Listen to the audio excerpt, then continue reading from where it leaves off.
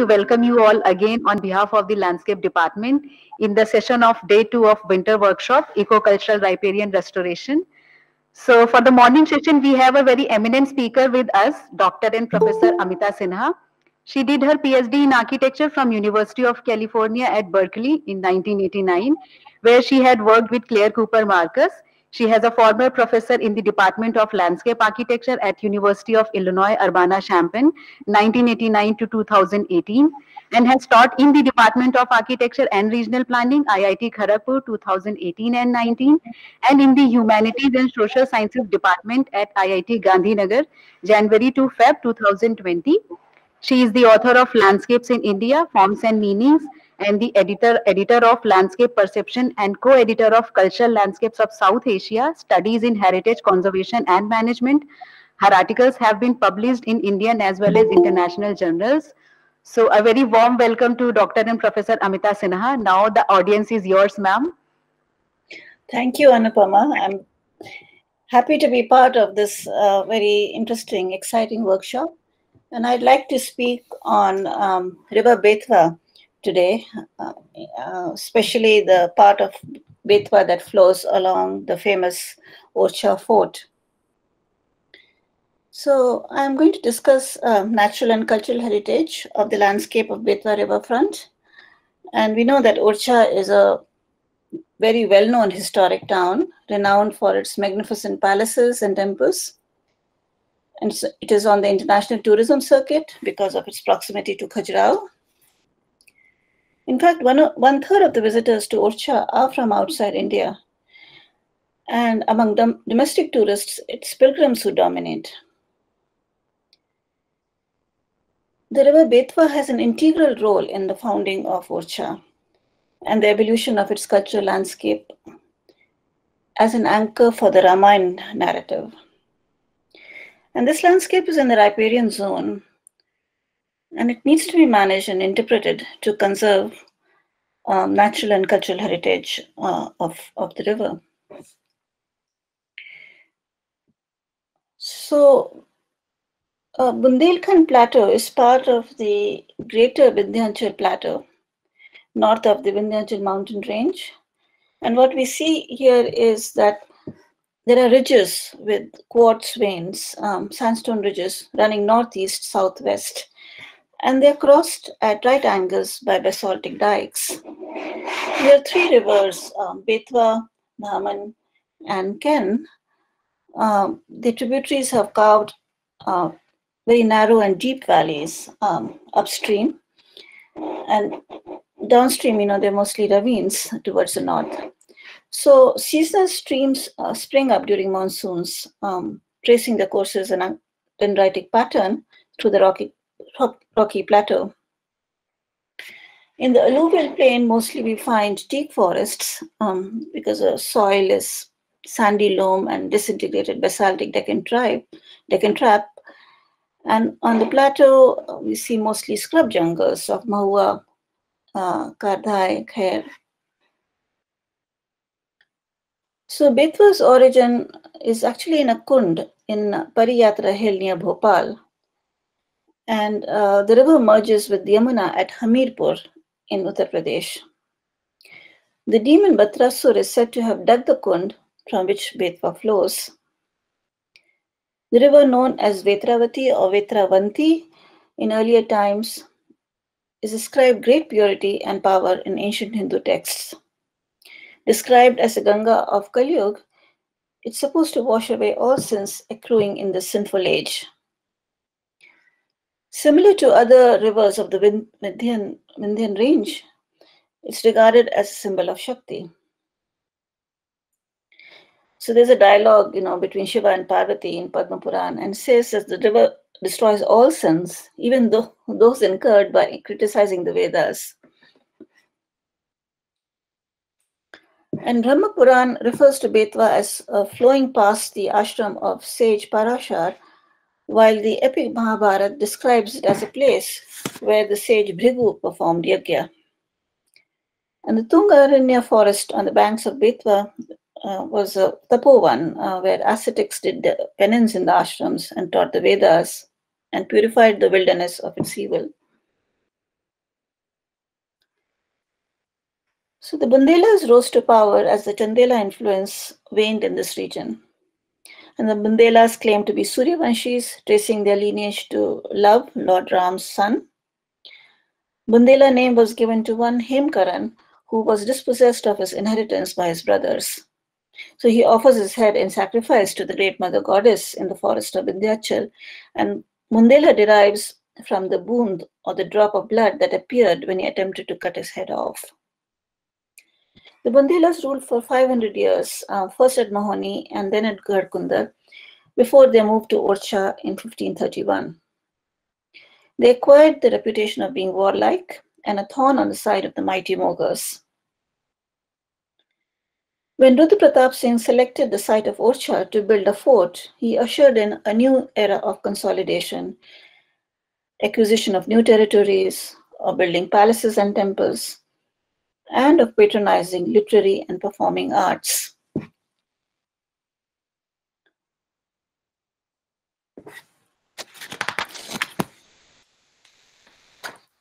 So Betwa's two tributaries, Jamnir and Gurari, merge with it um, at the site at Orcha.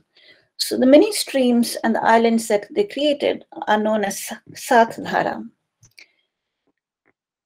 The citadel was built on an island in the river Betwa as a Jaldurg, according to site planning and design principles codified in the medieval Shilpa Shastras. Now, the Orcha fort is unique since all other forts in Bundelkhand, even those in proximity to Betwa, are hill forts. The site selection for the Jaldurg was guided by defense requirements. The fort was made inaccessible by waters all around it even as it was made auspicious by the fording of streams. So the citadel rose on the island like Mount Meru from the cosmic ocean. This is an archetypal image resonant with the idea of cosmos. Further down south, the cenotaphs are a unique group of monuments built over a period of time as memorials for the Bundela rulers. They're called Chhatris.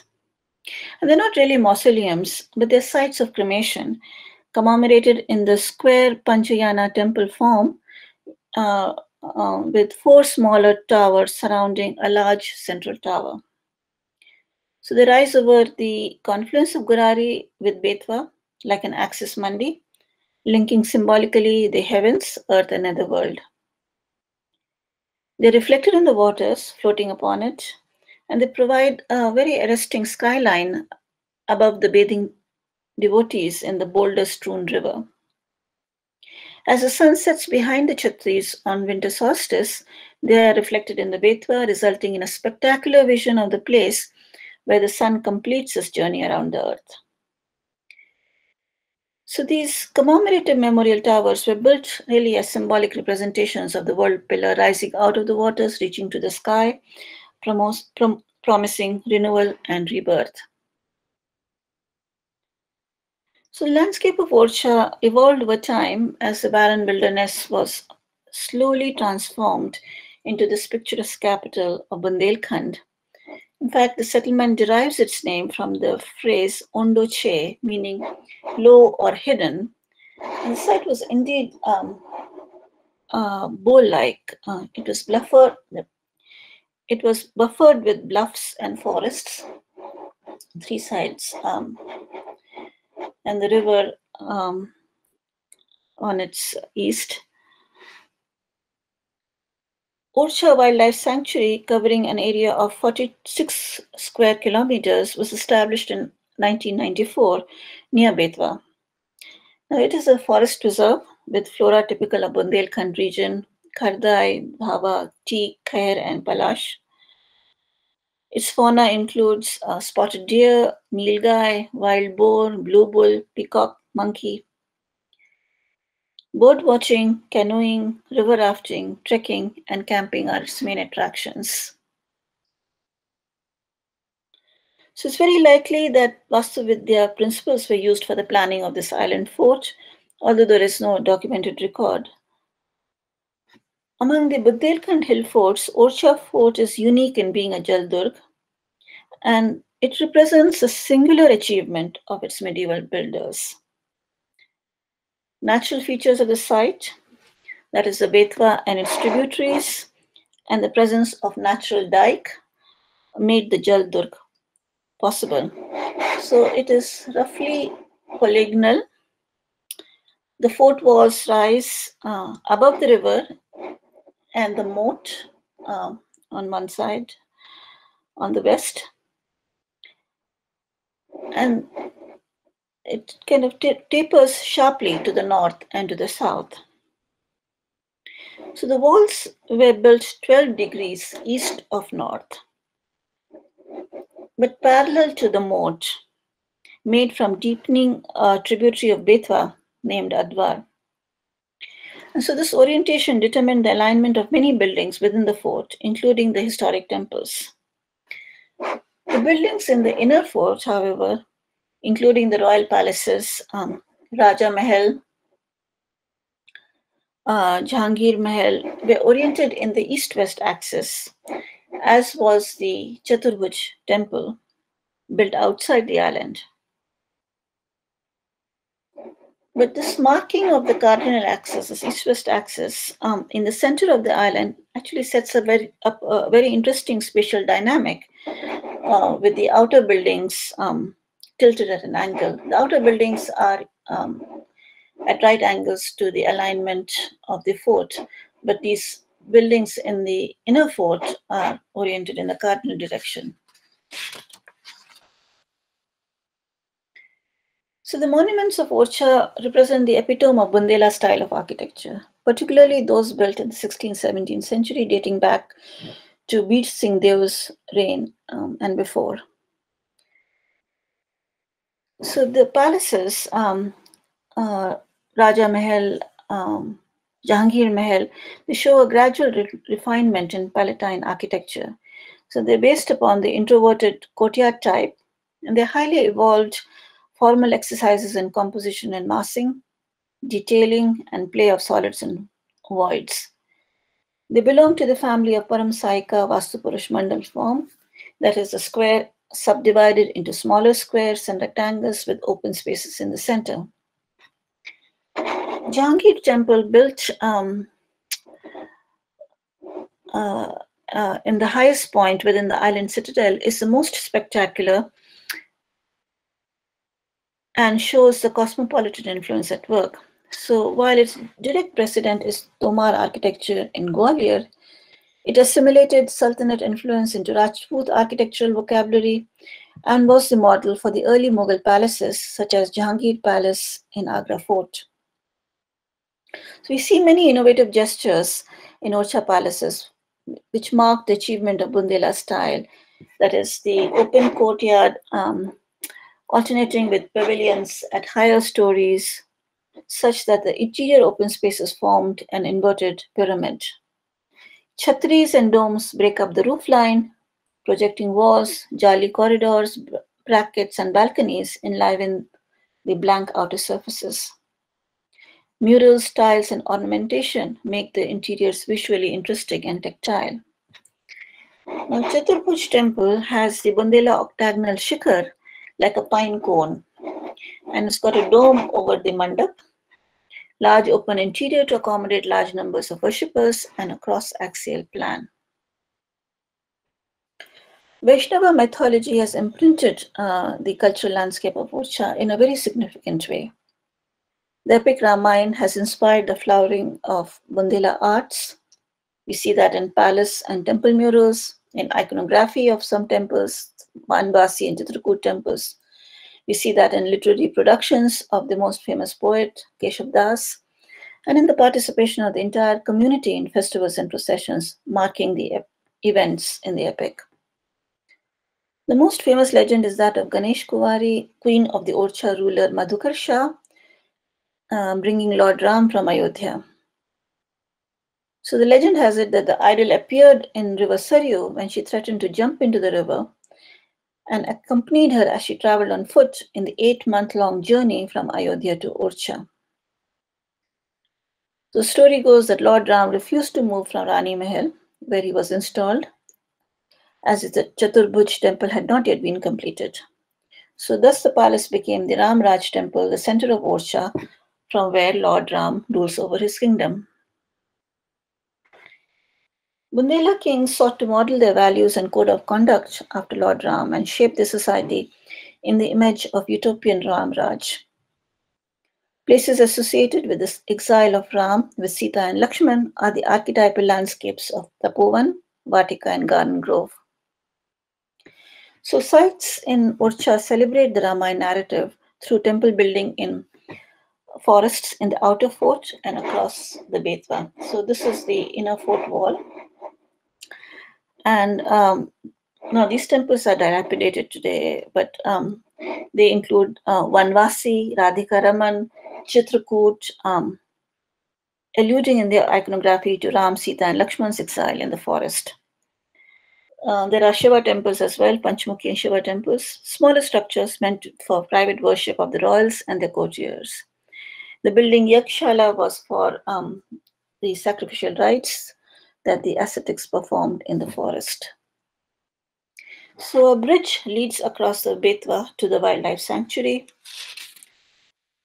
Chitrakoot's temple is built um, on the eastern side um, uh, of the island, rising above the Betwa.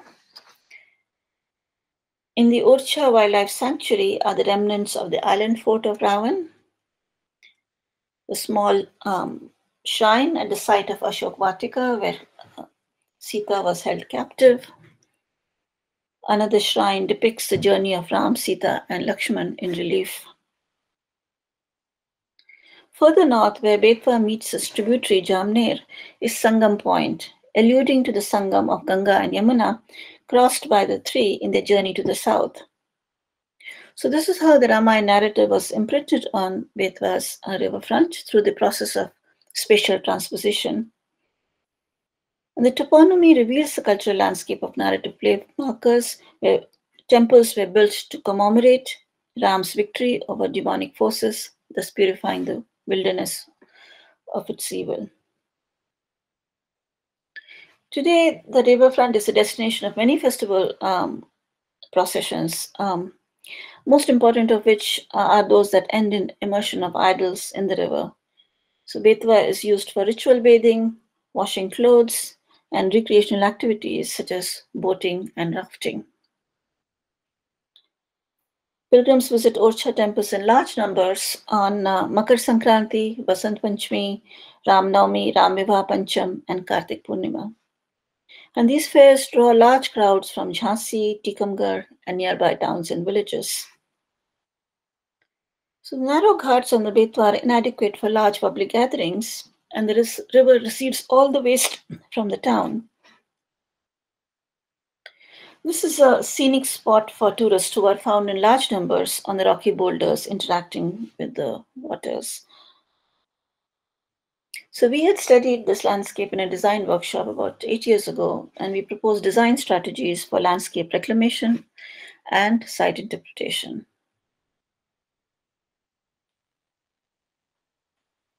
So Bundelkhand does not have enough land under irrigation. Many of its districts are often drought stricken.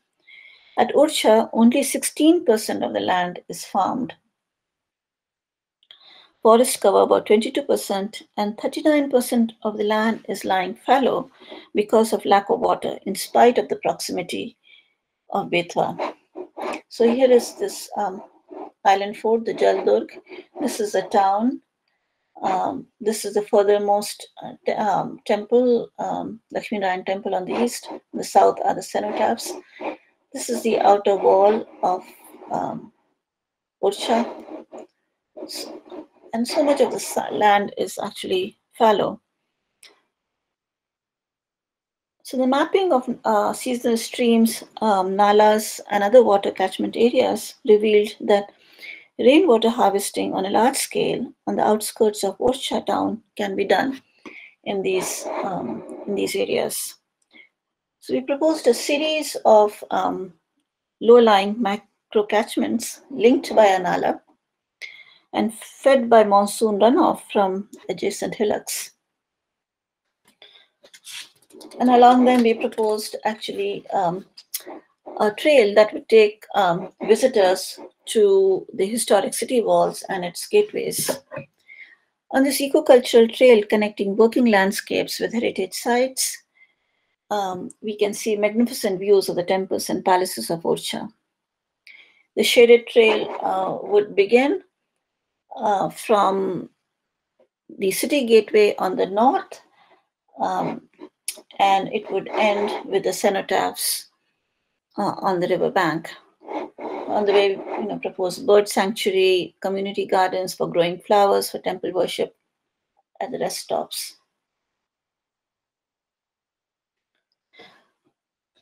Now, as of uh, a few years ago, um, there was no sewage system in Orcha, and only one in four houses had a toilet facility with a septic tank. So Nalis collect household wastewater as well as stormwater and drain them into the moat and the river. They're built with sufficient gradient, but they're frequently choked because of waste dumping. And this, of course, can be prevented by covering them with a removable lightweight metallic grates. So presently, um, both the north-south and east-west streets are only partially lined with nalis. And we connect the Nali system and extend it, it's actually a low-cost solution to the problem of flooding during storm events.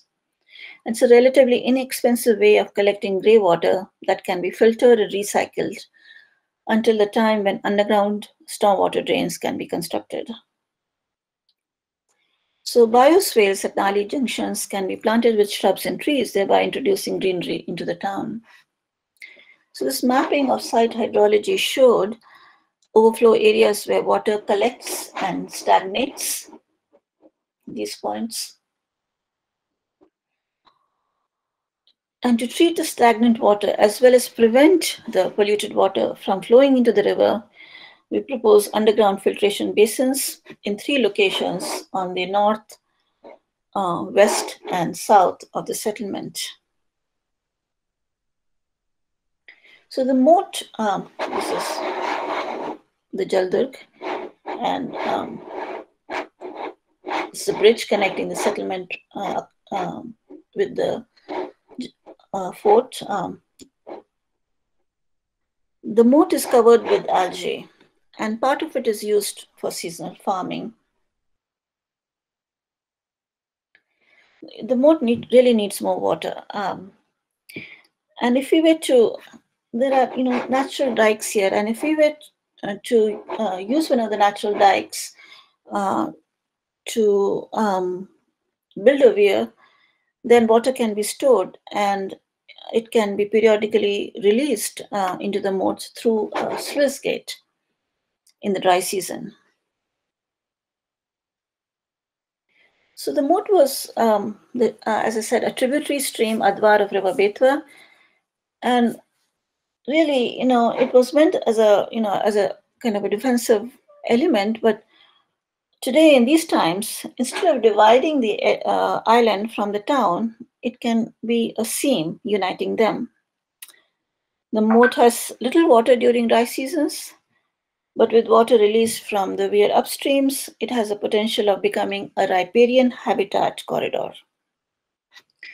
We proposed a number of wetlands um, in the moat that can filter up to 60% of the grey water collected from the nalis in Orcha.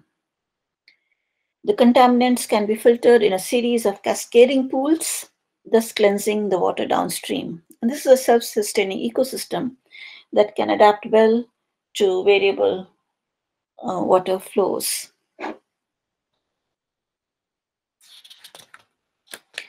So if encroachments are removed and the street along the moat uh, can also function as a view corridor with rest stops for taking in the magnificent views of the citadel. And these picturesque views can be enjoyed all along this, um, uh, the fort rising out of the waters, right from the town entry um, at the uh, from the town center at the entry to the island fort until we reach the cenotaphs on the riverfront. This view corridor should be protected. The stretch can be redesigned as a street promenade with view and rest spots leading down to the moat. with amenities such as seating, convenience shops, information booth, lighting, seating, and trees on the widened sidewalk. Visitors will be encouraged to walk down to reach the riverfront. So what I've shown today is that Orcha's immense cultural heritage is intertwined with the river um, in the siting and design of its monuments, in the cultural landscape, which is mnemonic of the Ramayana narrative. The forests of Betwa and its boulder-strewn riverfront are a wilderness preserve today because of the rich flora and fauna. But what should not be forgotten is that natural and cultural heritage are interdependent. They're not dichotomous as we see here in this landscape of Orcha. And a sustainable conservation approach needs to be an integrated one. So I'll be happy to talk more um, uh, if you have specific questions. Thanks a lot, ma'am, for the wonderful session. I would uh, ask uh, all the participants to, if, if they are having any questions, they can ask directly to ma'am. So since uh, Orcha is how far away from uh, Bhopal is Orcha? Is 350 kilometers from Bhopal, ma'am, and uh, mm-hmm. I have visited there a number of times. So, uh, yeah. yeah, it's a very serene, very picturesque place, and one cannot resist walking on the riverside the entire day. That's and, true. Yeah, and heritage laden at every footstep and this is all this is riparian zone. I mean if you really think about it you know all of these tributaries you know the Satdhara what they i don't know if there are actually seven streams or not but uh, there are plenty you know of streams and uh, uh, the builders of orcha just took advantage uh, you know of uh, of uh, this kind of um, you know tributary formation um, to construct the fort. And the fort is massive i mean it's well constructed. Uh, it's, I think, one of the strongest of uh, of all the Bundela forts. Uh, although some are actually even more uh, picturesque and more precariously balanced on hills. and there are vulture habitats also very close by. I believe there are a few nesting sites, yes. which are very few in uh, remaining in India. So hmm. some of them are quite close to the fort in the uh, hills. Hmm but I wonder how many uh, actually know that um, this uh, wilderness uh, is uh, consists of um, sites from all over India, which are associated with Ramayana.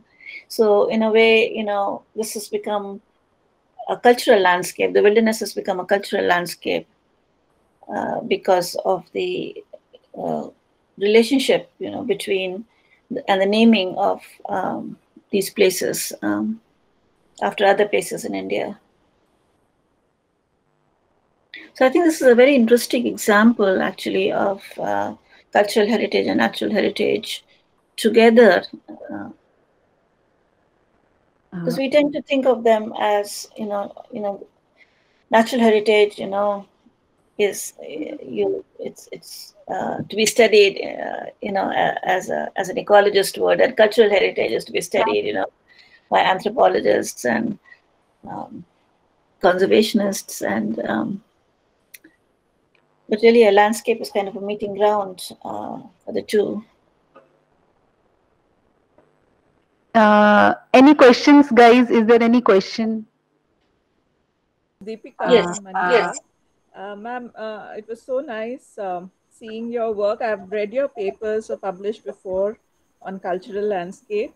And I stay close to Western Ghats. And I don't know if you're familiar with Kollur, Mukambika.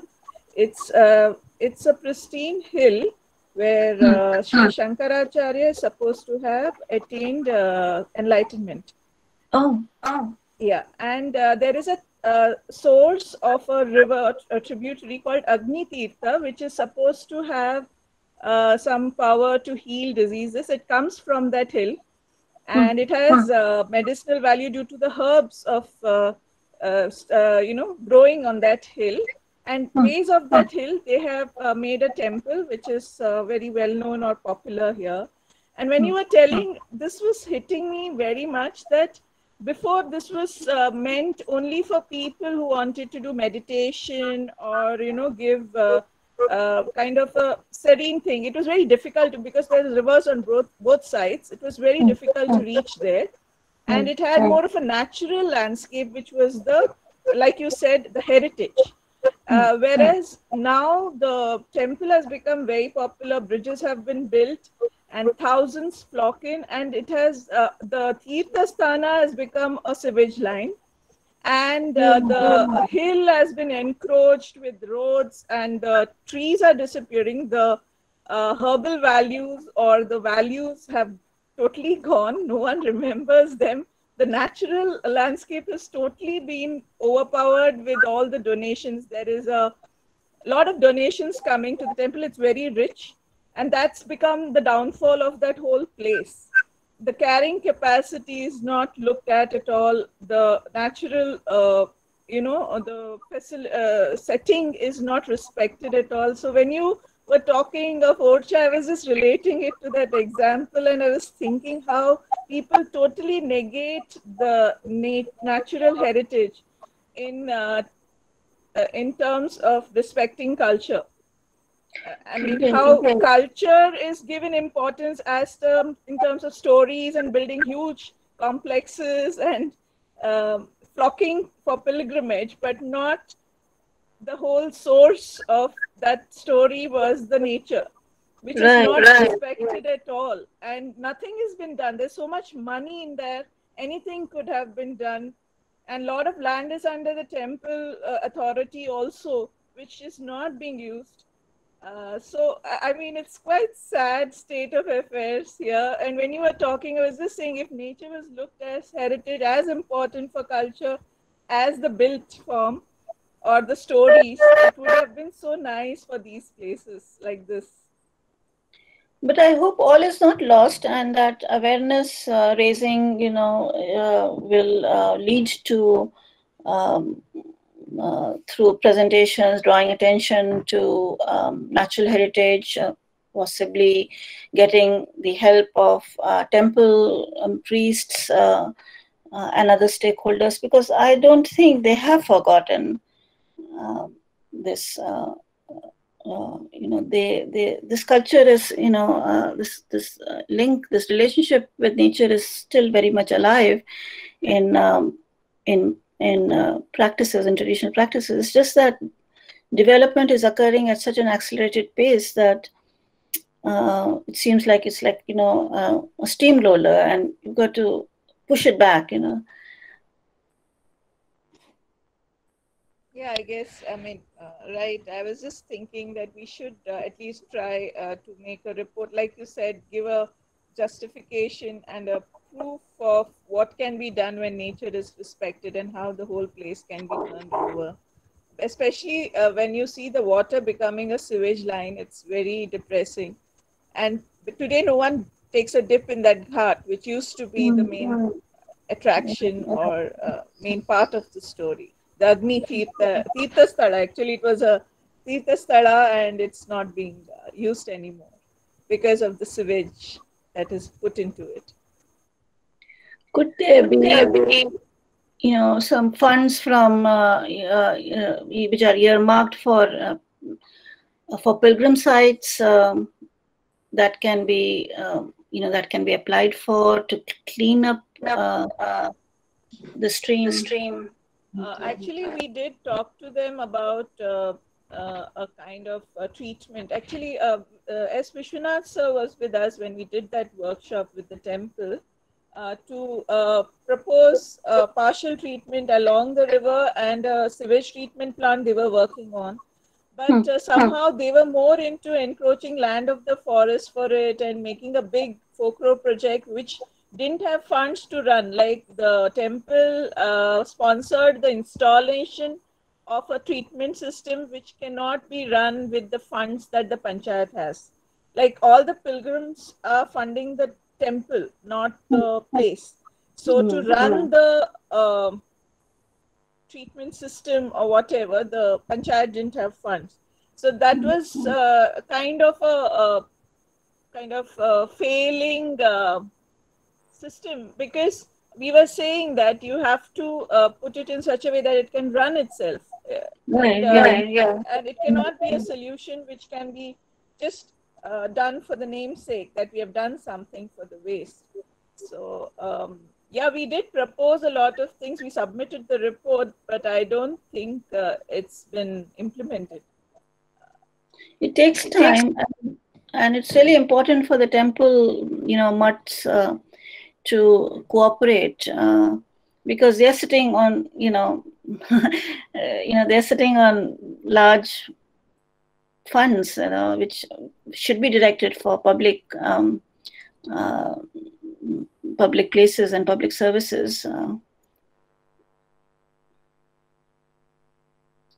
it's it's uh, it's not uh, you know if when, when there are precedents you know things will happen now that we see the ganga uh, uh, massive efforts are being undertaken to clean the ganga and hopefully yamuna too the smaller rivers would follow cleaning up the smaller rivers would follow uh, by the way i i don't know too much about uh, the linking of ken with betwa i just read it in the newspapers um, uh, is that going forward? Um, for those of you who live in Madhya Pradesh, you probably know what's going on these days. Few rivers have been interlinked. I am not uh, very key update. I am not updated about Ken Betwa, but uh, Shipra has been linked to others rivers, and there so this work is in progress. Few, few have started receiving water from other receive uh, like Shipra river had dried off, so now it is also receiving some waters from Narmada. Oh, good for oh, this is Ujjain. Yeah, because now otherwise, how will the Kumbh happen? Naturally, the river is unable to uh, heal itself. So, uh, are these such uh, artificial measures are now being taken to um, like revive the older systems. So, yeah.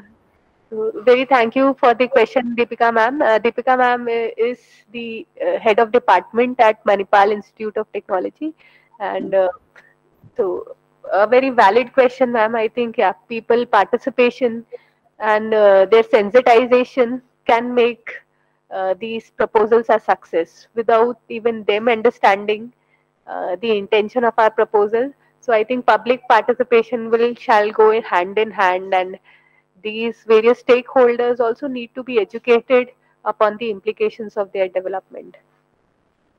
Yeah, and we need more legislation, right? Uh, Ma'am, uh, one, yeah, go ahead. Ma'am, I have a question to you. Uh, ma'am, uh, wha- what uh, what guidelines can work in management of these historical cultural management sites? So whether one should have some kind of a, policy framework for like this is how traditional agricultural practices were carried out and should be continued in the same manner, or the residential settlements uh, they should follow a particular style of architecture or the built open space ratio or uh, the connectivity. So uh, like uh, what is the next step of development of cultural? And uh, so that we can retain the fragile nature culture balance in Right, the Yeah, it has to be an integrated framework uh, for conservation. And I think a landscape oriented framework for conservation is an integrated one because landscape integrates all forms of heritage, you know, natural, cultural, it's a site and setting for intangible also. In the case of Orcha, uh, integrated framework would mean, well, you know, Orcha is um, very unique. Uh, it's a small settlement. Uh, uh, it's got really interesting um, architecture, uh, temple and palatine architecture, but also vernacular architecture. So um, uh, the appeal of the place really, you know, lies um, primarily in its built fabric, and of course, in, also in, in the Betwa, of course. Uh, built fabric, um, the riverfront, and then uh, it is um, also a very very important place for celebration of festivals in this part of um, of Bundelkhand. So all all of those um, come together, tangible, natural, cultural, architectural heritage come together. And an integrated framework would mean that um, we think holistically, um, we need to have um, uh, a legislative framework to back that up. Um, so coordination at various levels. In the case of ORCHA, between um, uh, the forest department, the, who run the wildlife sanctuary, the archaeological department, who's in charge of the fort area, then um, the uh, then the town and its um, you know its its various te- temples. Uh, um, so uh, usually, you know, um, it is um, in bigger cities as a development authority. There is no such thing as there here in Orcha, but there is a municipality. And if these departments uh, can have very specific guidelines, uh, which are backed up by legal mandate, um, so much. This is the buffer zone, you know, for protection. Like you'll be grappling with this issue of um, how much of the riparian zone should be uh, should be protected and cannot be you know built upon.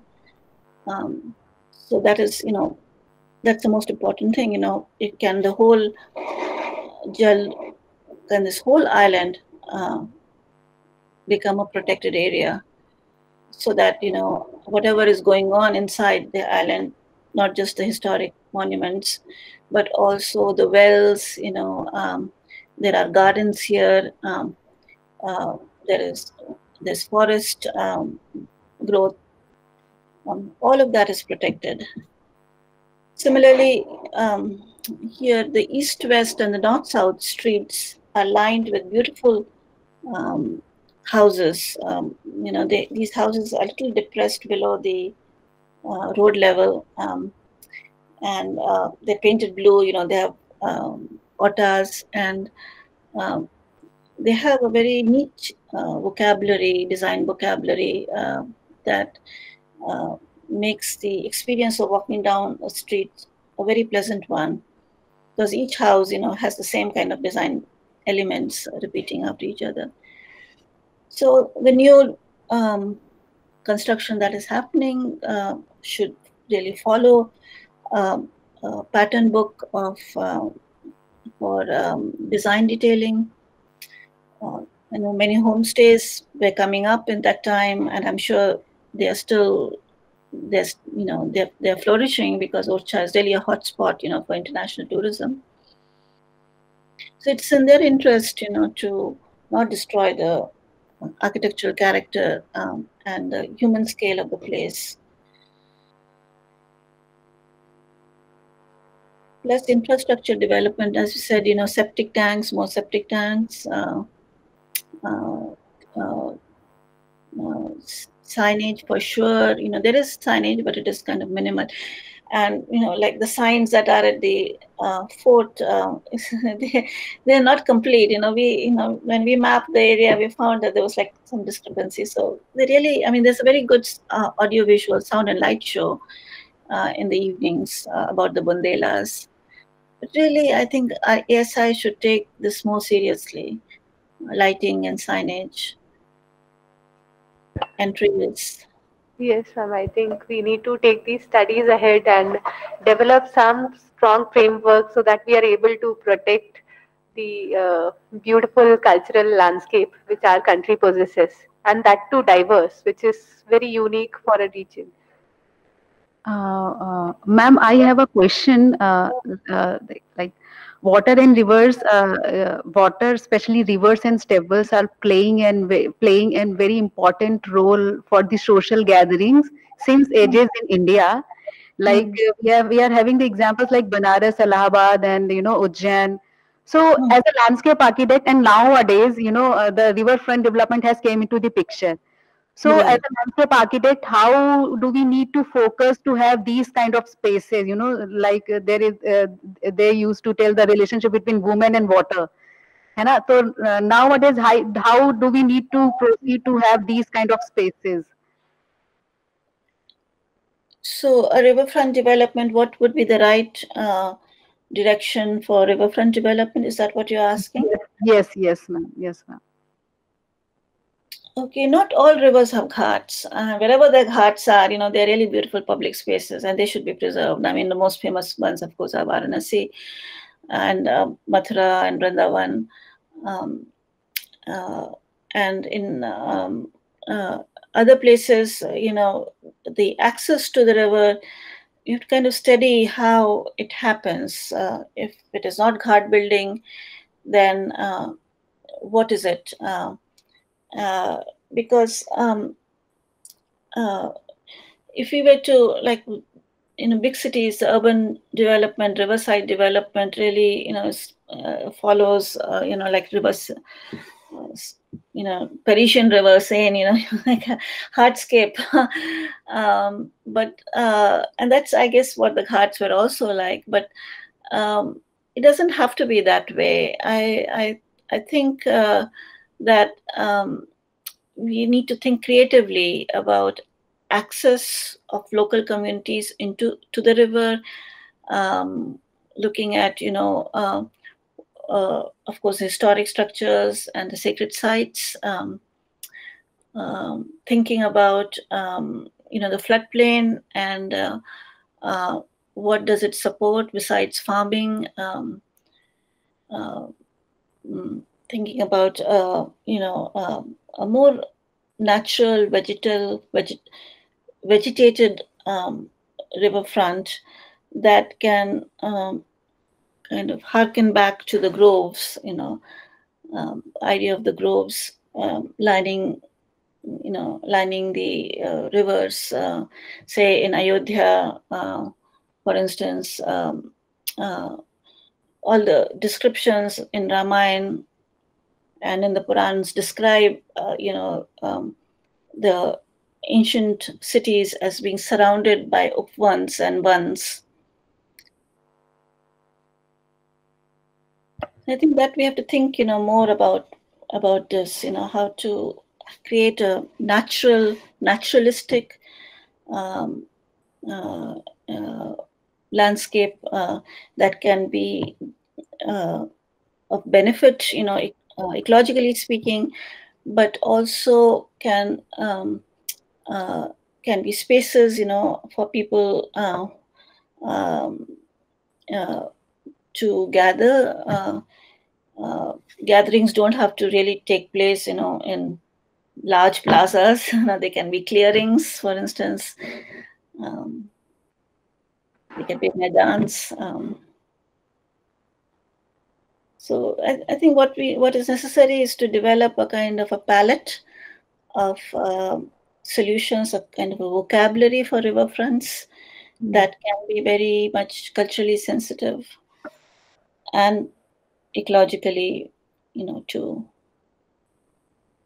Uh, thanks a lot, ma'am. Uh, uh, any other questions, uh, guys? If if you are having any any other uh, questions.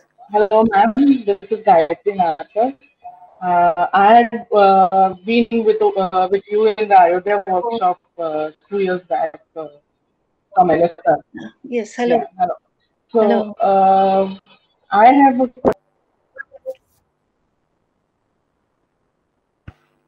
Hello. Hello, Gayatri, are you there?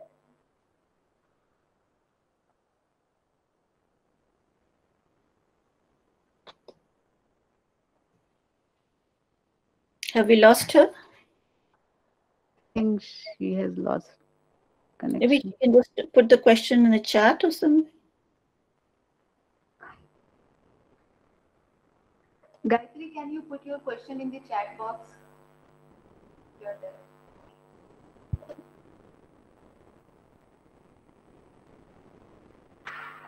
Meanwhile, any other question? If uh, if anybody has any other question. Yes, uh, my name is Neha and I'm an environmental planner.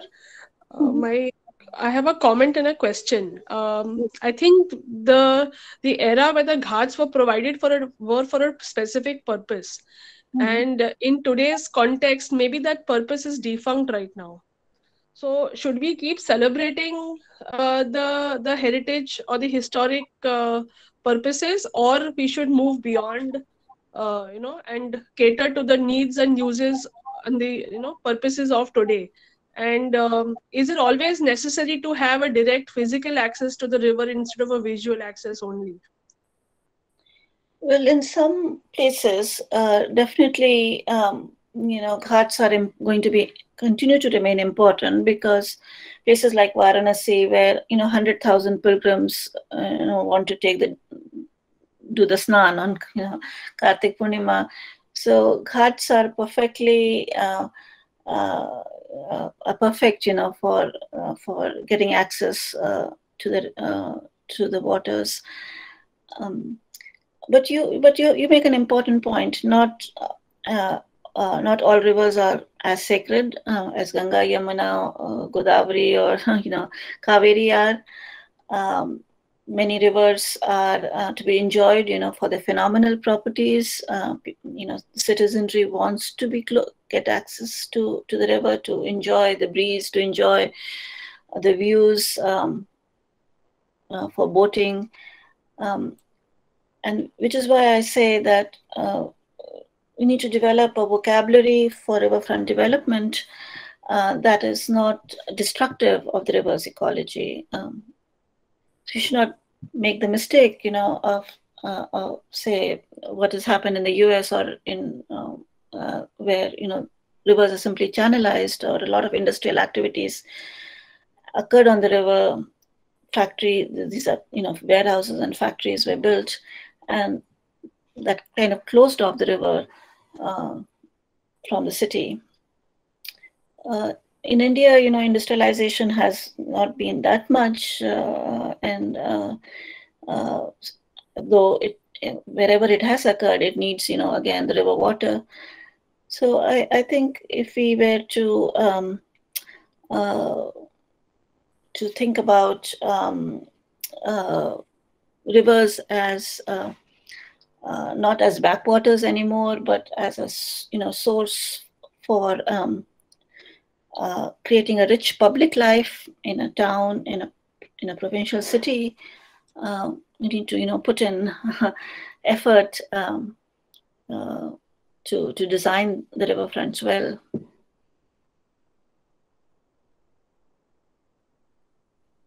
Yes, that is a very valid takeaway from the research. We need to start building up this vocabulary, ma'am. We and uh, or develop which and these have uh, these these designs have taken millions or yeah, thousands of years to evolve, and uh, so one need to also understand the uh, rationale or how because of need they emerged and uh, how can they be now taken ahead.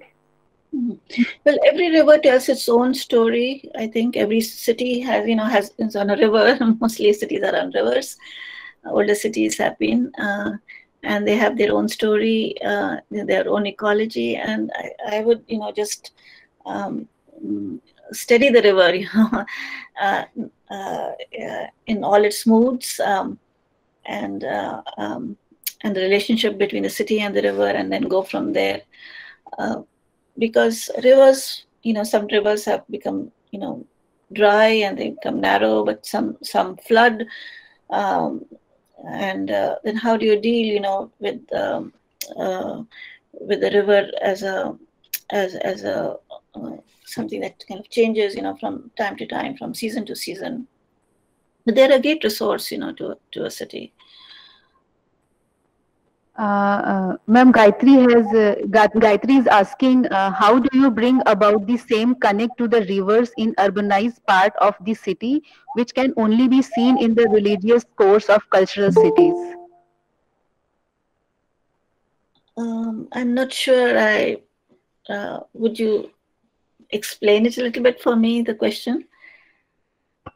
Ma'am, I think what Gayatri means to uh, what Gayatri means is uh, how can uh, people can be reassociated in urban areas with the riverfronts like there were cultural connections uh, like in but now we have gated colonies and uh, newer river fronts. So uh, there is not much. There is the cultural association has weakened a lot. So what are the measures or what are the design strategies that can be taken if we want to uh, revive the uh, culture nature linkages in urban area? and many of those religious connotations have also been lost. So the people of the present and the upcoming generation are very much and they do not uh, they have only seen water coming out of the taps and not from the rivers fresh flowing rivers. So the connection has changed a lot that is true that um, you know you just you know can't um, you know walk down to the village stream anymore or to, like in lucknow for instance um, you know gomti has really become the backwaters but at one time you know 150 years ago um, it was a primary transportation artery. It was a you know on the banks of gomti the nawabi palaces were built you know it was a great source of, uh, of breezes views um, um, and 150 years later, in uh, post-colonial Lucknow, um, as the city has grown, um, you know, floodplain of Gomti has has been built upon, um, and uh, the new newer you know development, uh, the big parks that have been built, you know, by Mayawati. Um, uh, uh, and other parties are simply not responding to the river, but that is a you know that's a um, really a missed opportunity um, I I wouldn't say that people don't people will not uh, have um, will not enjoy the river uh, because they don't because for them water comes out of the tap. I, I think it's it's it's very intrinsic to us to to be want to be close to the to to water. Um, it's a great source, you know. It's it's uh, it's a great source of pleasure, um, and um, every set, every city really needs public spaces too. So uh, uh, uh, the the riverbank, uh, you know, even the floodplain uh, can be a protected zone where um, where no with no buildings, no construction is allowed, but um, but instead parks based on the idea of groves can be can be made. Um, so that um, people have access not only to the to the river but also to to greenery. Um. Yes, ma'am. I think yeah, we need this for the uh, better health and well-being of the society. Uh, yes. So that will, and I think these connections will happen very soon, as the design is is an instigator of such changes. So once we have a better designed open space, it starts attracting uh, people, and uh, there are people uh, who like uh, what I see in Bhopal itself. There are trees right in the median. If there is an avla tree or a peepal tree, mm. people start tying knots. Or in avla Navami, they perform that ritual over there because they do not have a temple complex anymore with large backyard where these trees are there. So I think uh, we have a great section, and the rural population is also enormous. I think more than 70% in India, uh, hmm. where there is still a very strong association. So if we provide the opportunity, these things will happen back again. And uh, uh, uh, there is this knowledge also, traditional knowledge, which is present there. Maybe it can be revived. Mm-hmm. Yes, it's important to envision, uh, do these envisioning exercises, uh, to, to bring them in the public domain, uh, to persuade um, you know the stakeholders to think in a collective way uh, for the for the think in terms of uh, riverfront as a public good. Thank you, ma'am. It was a very interesting presentation, and I think our students will be making uh, all the participants and our students will be making the cultural uh, conservation, cultural landscape map of their study zones. So your study is very useful, and it has shown how cultural landscapes can be mapped for conservation. How can their value assessment? What are the sources one can? What is the process that one can follow to interpret the cultural landscape? So it it was a very useful and interesting presentation. Thank, Thank you so much for sharing. Thank you and all the best.